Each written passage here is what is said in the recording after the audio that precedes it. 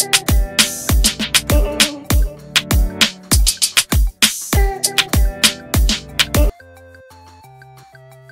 ิดภาพไม่ออกเลยจะเป็นยังไงกระต่ายบราหลุดขณะเล่นคอนเสิร์ต ถ้าไม่มีพี่คือตายคิดภาพไม่ออกเลยจะเป็นยังไง กระต่ายพันนิพาเกิดเหตุการณ์ไม่คาดฝันบราหลุดขณะเล่นคอนเสิร์ต ถ้าไม่มีพี่คือตายอย่างเขียดถือเป็นนักร้องลูกทุ่งสาวสุดฮอตอีกคนในวงการบันเทิงสำหรับนักร้องเสียงดี กระต่ายพันนิพาภรรยาสาวของ รูภัยบุญแสงเดือน ซึ่งมีเจ้าภาพแห่จองคิวงานไม่ขาดสายกันเทียบ แถมธุรกิจของเธอก็ปังไม่แพ้กัน กระทั่งเมื่อคืนของวันที่ 22 กรกฎาคม 65 ขณะที่นักร้องลูกทุ่งชื่อดัง กระต่ายพันนิพา ไปเล่นคอนเสิร์ตในงานแห่งหนึ่งอยู่นั้น กลับเกิดเหตุการณ์ไม่คาดฝันเกิดขึ้น เมื่อบราที่เธอสวมใส่เกิดหลุดเนื่องจากโดนเหงื่อเยอะพอลงมาหลังเวทีไม่รู้จะไปหาใครแต่โชคดีที่มีพี่คนหนึ่งช่วยไว้ทัน โดย กระต่ายโพสต์เฟซบุ๊กส่วนตัวเล่าเหตุการณ์ที่เกิดขึ้น พร้อมขอบคุณพี่คนที่มาช่วยเหลือเธอว่า วันนี้เกิดเหตุการณ์บราหลุดเพราะโดนเหงื่อ ลงมาหลังเวทีไม่รู้จะไปหาใครไม่รู้ว่าใครจะเอามานำเนาะ มางานคอนเสิร์ตเมย์555 พี่เพิ่อนไปหามาให้เอามาให้ยืมใส่น้องขอบพระคุณหลายๆ เด้อจ้าถ้าไม่มีพี่คือตายอย่างเขียดเครื่องหมายสี่เหลี่ยมใครรู้จักพี่เขาแคปหน้าจอส่งไปให้พี่เขาหน่อยนะคะ ขอบพระคุณมากๆจริงๆ มาช่วยชีวิตหนู 555 บอสั้นคิดภาพไม่ออกเลยจะเป็นยังไงพ่อชีวิต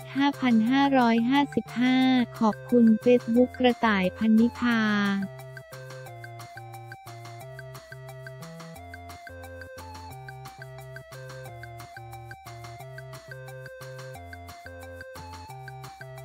อิงฟ้าตอบปมกองมิดแกรนฟ้อง ลีน่าจังฐานดูหมิ่นลั่นตอนเจอหน้าเป็นอีกอย่างอิงฟ้าตอบปมกองมิดแกรน จากกรณีที่สื่อโซเชียลของ Miss Grand Thailand ออกประกาศเมื่อวันที่ 13 กรกฎาคม 2565 ที่ผ่านมาว่า จะฟ้องคนที่แสดงความเห็นพาดพิงให้อิงฟ้าวราหะ Miss Grand Thailand 2022 เสียหายโดยมีข่าวว่าหนึ่งในนั้นคือลีน่าจังล่าสุด 22 กรัมคอ อิงฟ้าที่ควงกันมากับคู่จิ้นชาร์ล็อตออสตินเพื่อร่วมงาน EVEANDBOY K Beauty มหกรรมเครื่องสำอางและสกินแคร์แบรนด์เกาหลีณ ลานหน้า EVEANDBOY Underground สาขาสยามสแควร์วันก็ได้ตอบถึงประเด็นดังกล่าวถามถึงเรื่องที่ทางเราจะฟ้องลีน่า อิงฟ้า อันนี้ก็น่าจะเป็นในส่วนของกอง ส่วนตัวหนูอาจเขาก็จะไม่ค่อยให้หนูรับรู้อะไร เพราะเขารู้ว่าเรางานเยอะเดี๋ยวจะเครียดแล้วก็จัดการกับความคิดของเราไม่ได้ เราก็ไม่ค่อยได้ทราบเรื่องรายละเอียดว่ามันเป็นยังไงแต่เท่าที่ทราบก็เท่าที่ทุกคนเห็นเลยค่ะ สาเหตุน่าจะมาจากที่เขาวิพากษ์วิจารณ์เรา รู้สึกยังไง อิงฟ้า เจอตัวจริงมาแล้วนะเคยได้ร่วมงานกันในเทปรายการ ซึ่งต่อหน้าเราเขาก็ไม่ได้เป็นอย่างนั้น เราก็ไม่เข้าใจว่าเป็นเพราะอะไร แต่ถามว่าโกรธไหมก็ไม่ได้โกรธเข้าใจในคาแรคเตอร์ของเขา ไม่ได้มีการคุยอะไรกันเลยเหรอ อิงฟ้าไม่มีค่ะ สาเหตุมาจากอะไรพอทราบไหมอิงฟ้าไม่ทราบเลยค่ะเพราะตอนนี้ก็ทำงานอย่างเดียว มีข่าวว่ากองจะไล่เขาถ้ามีเอกสารออกมาก็น่าจะอันนี้หนูไม่ทราบจริง ๆ การที่เขาคอมเมนต์เรามันกระทบจิตใจเราไหม อิงฟ้า ชินแล้วค่ะตั้งแต่ก่อนที่จะได้ตำแหน่งด้วยซ้ำเหมือนเราก็เริ่มจะจัดการความคิดตัวเองได้แล้ว ตอนนี้ไม่มีโกรธใครเลยสะใจด้วยซ้ำเพราะเราประสบความสำเร็จแล้วเลยจุดที่เราจะมานั่งเถียงนั่งบ่นแล้วตอนนี้ก็คือทำให้เห็นว่าหน้าตาของความสำเร็จเป็นแบบไหน พี่นวัดก็ออกมาปกป้องเราตลอด เราอยากจะบอกไหมว่าไม่ต้องก็ได้ จะได้ไม่มีปัญหา อิงฟ้าก็มีนะคะ แต่ด้วยความที่หนูก็โตเป็นผู้ใหญ่แล้ว ก็จะรู้ว่าเราสามารถจัดการอะไรเองได้บ้าง ถ้าเขาสามารถช่วยได้เขาก็ทำในส่วนของเขา เราก็ทำในส่วนของเรา พี่นวัดบอกไหมว่าส่วนไหนที่จะฟ้องบ้าง อิงฟ้าคือเขาก็อันดูพวกเราทั้งหมดอยู่แล้ว ก็เหมือนลูกสาวถ้ามีใครมาว่าลูกเขาเขาก็โมโหเหมือนกัน ก็ปล่อยให้เป็นเรื่องของกองประกวดจัดการไปใช่ไหมอิงฟ้า ใช่ค่ะ เรื่องสัญญากับค่ายเก่าตอนนี้เป็นยังไงบ้างอิงฟ้า ยังไม่มีการคุยกันโดยตรงค่ะยังไม่มีการติดต่อเข้ามาถึงเรา ตอนนี้ก็ให้ทางทนายขององค์กรไปจัดการ ส่วนตัวหนูตอนนี้ไม่ทราบเลยว่าเขามีติดต่อมาทางองค์กรหรือเปล่า หรือว่ามีประเด็นอะไรหรือเปล่าเพราะเงียบไปเลย แต่งานที่เราได้รายได้มาเขาก็ไม่เคยมาเรียกร้องใช่ไหม อิงฟ้าตอนนี้ยังไม่มีเข้ามาเลยค่ะ เสาร์อาทิตย์นี้จะเข้าเก็บตัวแล้ว อิงฟ้าใกล้จะขึ้นคอนเสิร์ตเดี่ยวแล้ว ยิ้มวันที่ 6 สิงหาคมถ้าจริงๆ เคยได้คุยกับทางกองว่าแรงเราเริ่มตกแล้ว เพราะจะเข้าเดือนที่ 4 แล้วก็มีนั่งคุยงานกันว่าจะจัดการงานยังไงได้บ้าง ซึ่งงานมันก็จะแน่นชั่วโมงคอ สิงหาคม จากนั้นก็จะค่อยๆ จางลงอีกทีเกกยอ จะเป็นตารางในเรื่องของการเรียน performance ต่างๆ เพื่อจะเตรียมตัวไปอินโดนีเซียในเดือนเนตคอ ค่ะ ความพร้อมเรื่องชุดที่จะไปประกวดมีการคุยกันบ้างหรือยังอิงฟ้า มีประปรายค่ะยังไม่ได้จริงจังมากจะจริงจังก็ช่วงเดือนหน้าที่เราจะต้องประชุมกันจริงจังว่าเรื่องชุดดีไซเนอร์ makeup ต่างๆ จะมีอะไรบ้าง มีคนบอกว่าตอนนี้เราไม่ได้เป็นนางงามแล้ว แต่เป็นดาราคนหนึ่งไปแล้ว อิงฟ้า อย่างที่บอกว่านางงามมันเป็นอะไรได้หลายอย่าง พยายามจะตีกรอบนางงามในยุค 2022 ให้คนได้เห็นว่าจริงๆ แล้วนางงามไม่จำเป็นต้องอยู่บนเวทีนางงามอย่างเดียว สามารถที่จะออกงานอีเวนต์ต่างๆ ได้ สามารถที่จะทำหน้าที่อะไรหลาย ๆ อย่างได้เหมือนองค์กรสามารถไปได้ไกลกว่านี้ ทุกวันนี้ทุกคนก็น่าจะได้เห็นแล้ว ยิ้มทุกวันนี้ทำรายได้ให้องค์กรมิสแกรนเท่าไหร่แล้วอิงฟ้า หัวเราะ ครึ่งทางจากเป้าหมายที่ตั้งไว้ค่ะ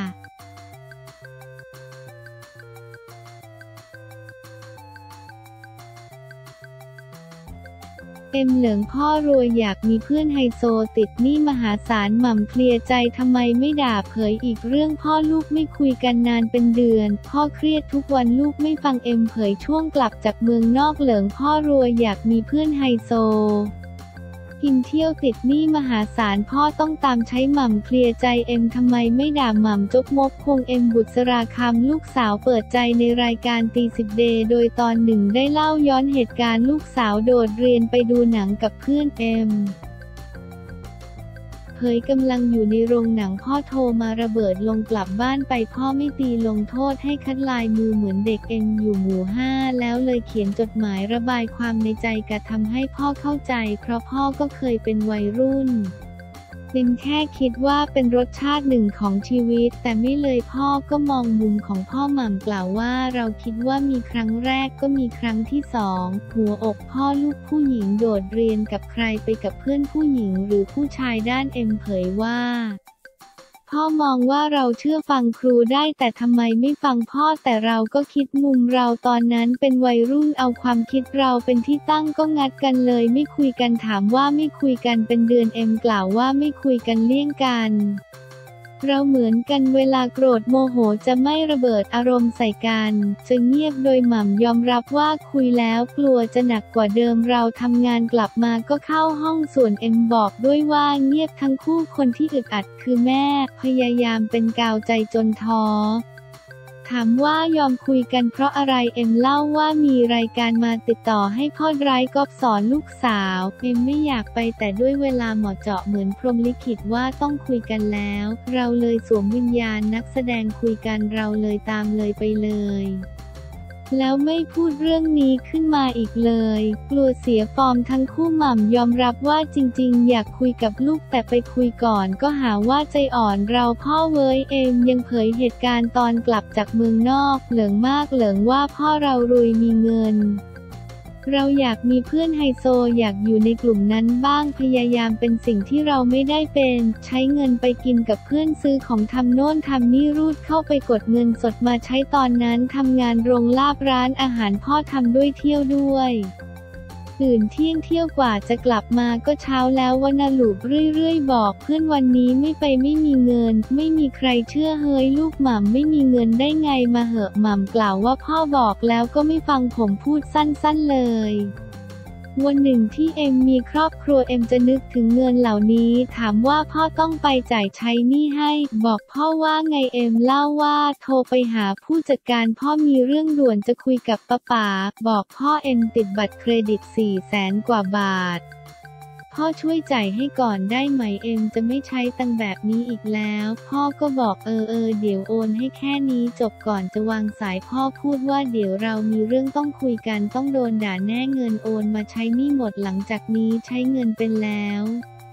พ่อก็ยังไม่ด่าอยู่จนเป็นปีแล้วอยู่ด้วยความระแวง พ่อไม่ด่าสักที อยากกราบเท้าพ่อช่วยด่าเถอะจนบัดนี้ยังไม่ได้ยินคำด่านั้นเลย ด้านหม่ำบอกว่ามันจะมีประโยชน์อะไรกับคนที่พลาดไปแล้ว เขาได้รู้แล้วว่าเงิน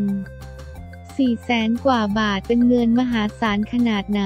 ถ้าคนวัย 23 ถึง 24 คิดไม่เป็นอย่าเกิดเป็นคนดีกว่า เขาคิดได้แล้วทำไมพ่อไม่ด่าเขารู้สึกผิดแล้วถามเรื่องน้อยใจลูกบ้างไหมหม่ำกล่าวว่าน้อยใจลูกเป็นเรื่องปกติถ้าลูกไม่ฟังยิ่งตอนกลับจากเมืองนอกนั่งคิดเรื่องลูกทุกวันจนเครียด เขาเที่ยวทุกวันไม่รู้จะทำยังไงเลย เลือกจะไม่พูดเลือกที่จะไม่ด่า